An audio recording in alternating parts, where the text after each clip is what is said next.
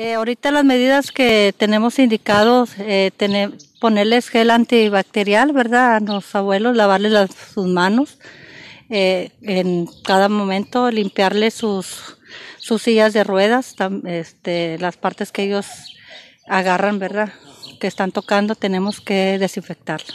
No hay visitas ahorita por el momento por la contingencia. Aprovechando estos medios, ¿verdad? les digo a los familiares, de nuestros abuelos que, que no estén con el pendiente, ellos están muy bien.